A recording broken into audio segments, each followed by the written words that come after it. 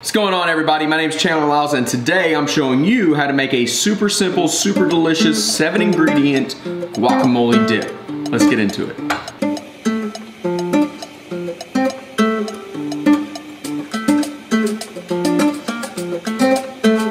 So later on this week, I'm making a video all about how I am not the biggest fan of going to Mexican restaurants, but my wife loves fajitas. So I'm gonna try to start making them here at the house more so that I don't have to eat dried out. But part of going to a Mexican restaurant is getting amazing guacamole. Now I love the, the white queso that's processed and melted and chips. I'm a massive fan.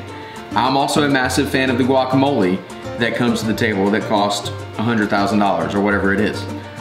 But since we're not going to a Mexican restaurant, I'm gonna have to make it here in-house today. So we got these seven ingredients here, and then we've got our Ninja food processor. As always, shameless plug, if you wanna get one, it's the best machine on the planet. Link is in the description below. Shameless plug. All right, so first thing we're gonna do, we got three medium avocados, and we're gonna cut these, scoop them out, and throw them into our food processor.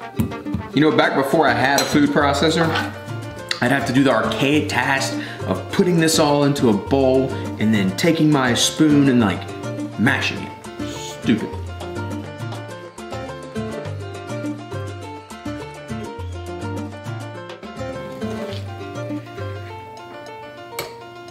Then I'm just gonna cut the end off of two Roma tomatoes here and then split them right down the middle.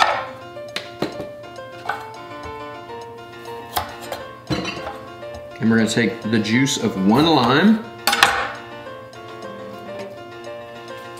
Nope.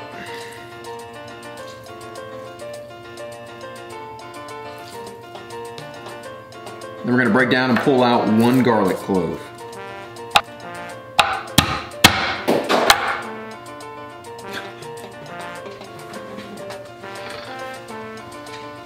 All right, well that's garbage. Take two. I have never launched a piece of garlic across the room like that before.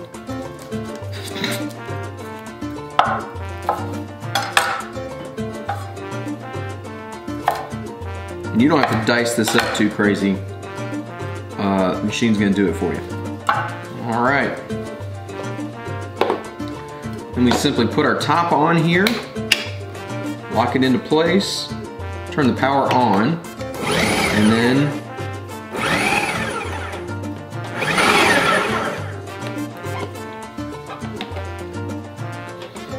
All right.